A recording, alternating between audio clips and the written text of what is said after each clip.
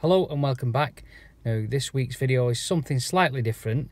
Um, the NEC is going on this week so I'm not going to put one of my usual videos out but I just wanted to talk about something that I'm going to be doing in the future. Uh, so um, I thought I'd do a short video.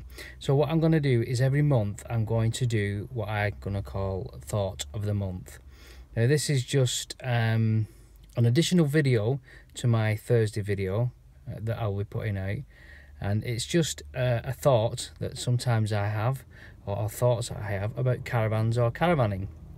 Now, this particular thought of the month is uh, related to this month is tyre safety month, and I did a video on tyre changing the valves, um, and it got me thinking about tyres. And when I went to a um, caravan factory recently, I noticed, uh, I'll try and put a picture up, that there were um, stacks and stacks or stillages full of uh, caravan wheels uh, with tyres on that were sat outside. You should be able to see from this picture.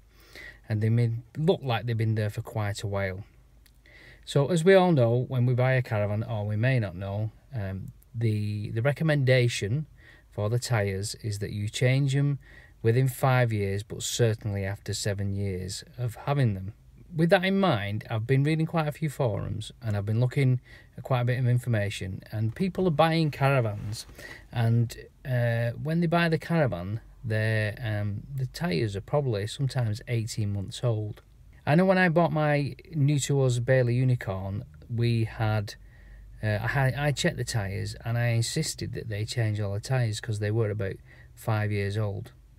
So if you buy a new caravan, um, if those tyres are not new, should you request or should we be requesting that they fit brand new tyres? Because you could buy that caravan and you could uh, be using it, and then within, I don't know, three years, you may have to change your caravan tyres when really they should be lasting on a new caravan or a used caravan, they should be lasting five to seven years.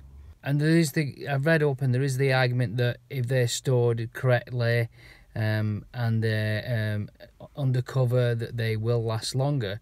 But that still doesn't kind of get away from the fact that the tyres are still five or seven years old from manufacture. So is it from manufacturing date? Or is it from when they fitted in the caravan? But my, my, I think, as far as I'm aware, it's from manufacturing. So it's a bit of a grey area on, on that one, really, whether um, it's from manufacturer or where, wherever it is. But the tyres that I saw were clearly, definitely outside, open to all the elements. So they were probably getting heat on there, getting the cold weather on there. So the tyres were probably slightly worn. And when you look at uh, like the manufacturer where I went, there were lots of caravans all waiting to go out. And they've not just been built and, and, and they go out. They've been sat there for possibly six months, maybe. I don't know what the turnaround is. So again, the, the tyres have been sat for a while.